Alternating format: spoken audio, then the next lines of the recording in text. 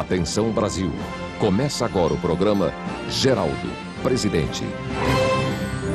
Geraldo Alckmin, 53 anos, médico, casado, pai de três filhos, mais de 30 anos de vida pública. Uma história limpa que você vai conhecer agora. Geraldo nasceu em Pindamonhangaba, uma pequena cidade do interior de São Paulo. De família simples, Geraldo morava neste sítio. Esse aqui era o meu quarto. Aos 10 anos, perdeu a mãe. Junto com as irmãs, foi criado pelo pai e pela Inhá, a mãe de coração que ele sempre visita para matar a saudade. Delícia, a comida da Inhá é imbatível. Geraldo Alckmin estudou em escola pública. Aos 19 anos, estudante de medicina, foi eleito vereador. Batalhador, dava aula para pagar a faculdade. Conheço ele, sei do que ele é capaz, né? De como ele foi subindo, foi lutando, da pessoa íntegra, honesta que ele é, né? Aos 23 anos, Geraldo Alckmin é eleito prefeito. A cidade inicia um novo ciclo de desenvolvimento. Geraldo levou asfalto para a periferia, construiu postos de saúde, escolas, creches. Fez o Centro Esportivo João do Pulo. Para gerar empregos, atraiu novas empresas para a cidade. A Vilares, a Confab, a Alcan. Aprovado pelo povo, Geraldo Alckmin foi eleito deputado estadual e depois deputado federal duas vezes. Foi o deputado do Código de Defesa do Consumidor. 1994. Mário Covas é eleito governador de São Paulo. Geraldo é o vice. Juntos, Covas e Geraldo trabalham duro para tirar São Paulo do caos. Retomam as obras paradas e botam o metrô nos trilhos. Recuperam prédios abandonados e entregam 19, 19 novos hospitais para a população. 2001, morre Mário Covas. Geraldo assume o comando de São Paulo e investe em grandes obras para gerar empregos. Novas estradas, hidrelétricas, 225 mil casas populares. Esse sonho foi realizado a troco do Geraldo. Porque se não fosse ele, eu não tinha minha casa. Em 2002, Geraldo Alckmin é aprovado de novo pelo povo de São Paulo. Eleito governador do estado com 12 milhões de votos.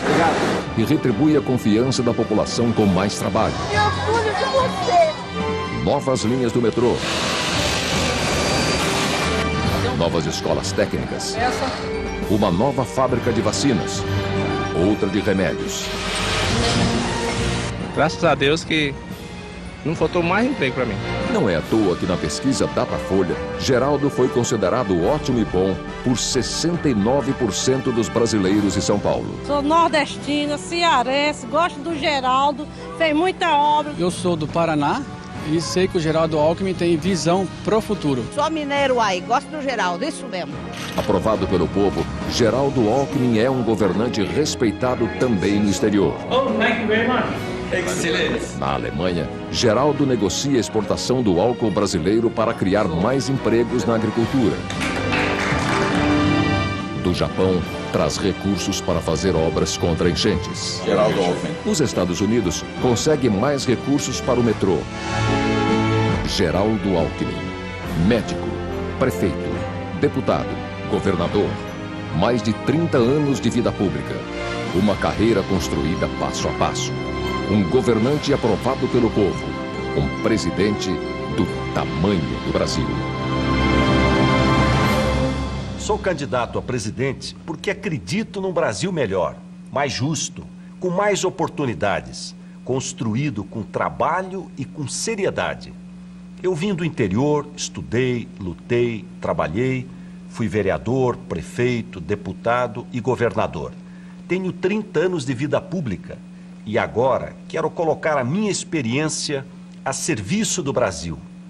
Como prefeito, construí creches e escolas. Agora, como presidente, quero investir na qualidade do ensino das crianças e criar mais cursos técnicos, tecnológicos para os nossos jovens. Saúde é uma área importante. Não admito errar, até porque sou médico. E como médico, aprendi a cuidar de gente, a conhecer o sistema de perto.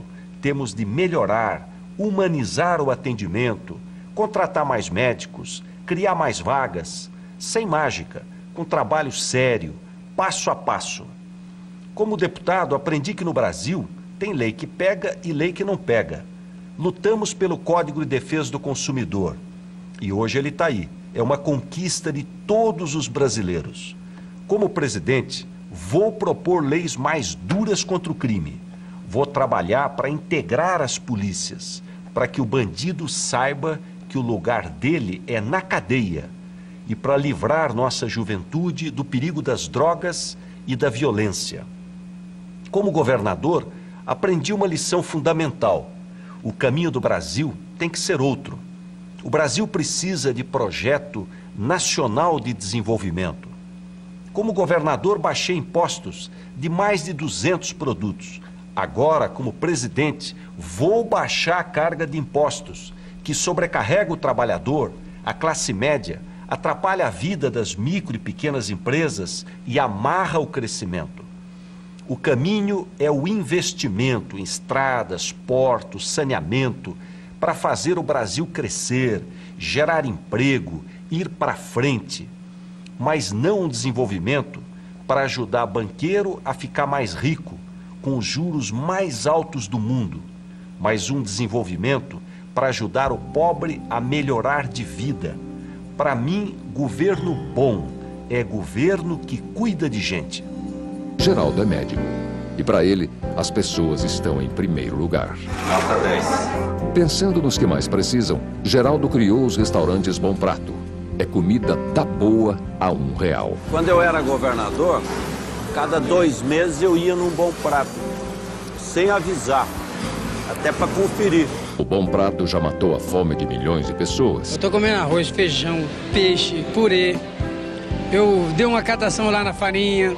Pro Geraldo, saúde é coisa séria.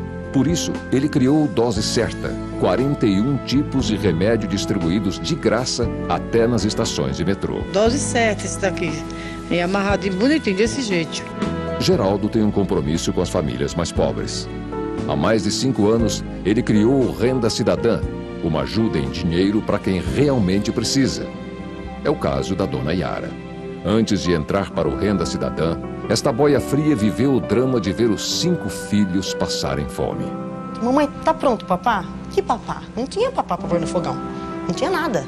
E eles dormiram. Acho que de tanta fome que estavam, dormiram. E naquela noite eu chegava perto da caminha deles assim, escutava a barriguinha deles roncando de fome, sabe? E a solução apareceu. Obrigada! É o fim do cidadão. Agora não tem mais fome, não tem mais tristeza, só alegria e barriguinha cheia. Emocionada, ela faz questão de agradecer. Seu Geraldo, muito, mas muito obrigada mesmo, do fundo do meu coração, por essa ajuda que o senhor nos deu. Dona Yara, é para gente simples como a senhora, para os brasileiros que mais precisam que eu governei e que vou governar. Por isso, desde já fica aqui o meu compromisso. Eu vou manter o Bolsa Família, eu vou ampliar o Bolsa Família e eu vou melhorar o Bolsa Família. Mas nós temos que ir além. O que o nosso país precisa é de um grande projeto de desenvolvimento para crescer, gerar emprego, oportunidade para as pessoas.